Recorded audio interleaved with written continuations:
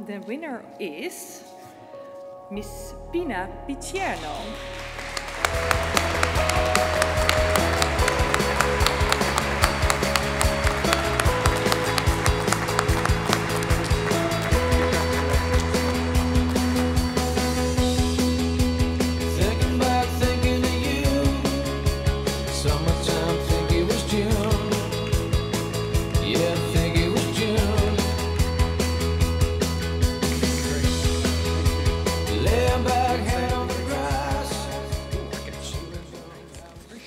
Thank you, thank you very much.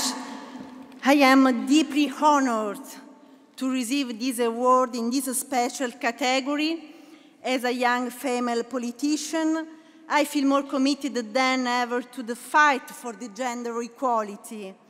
In this occasion, we should never forget the hundreds of women killed every day around the world the ones who are humiliated, intimidated, harassed, women like Nasirisa today in jail because she defended the, the women's rights in her country. It is for all of them that we need to keep fighting to never leave any woman in the world alone. Thank you very much.